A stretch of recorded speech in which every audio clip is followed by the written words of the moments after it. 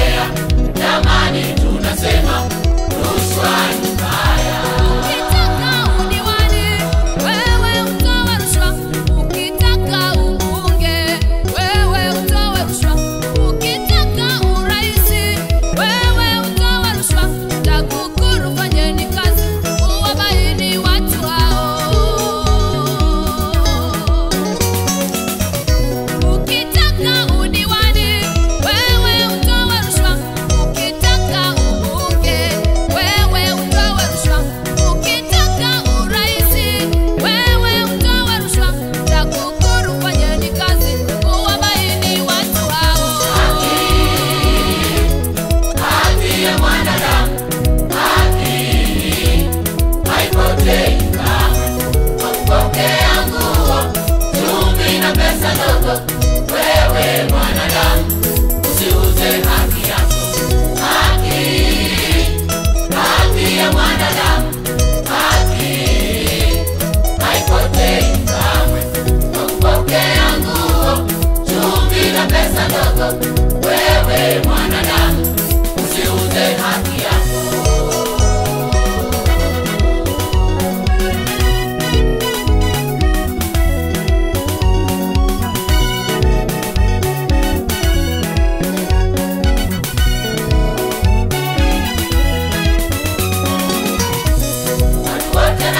Sunday.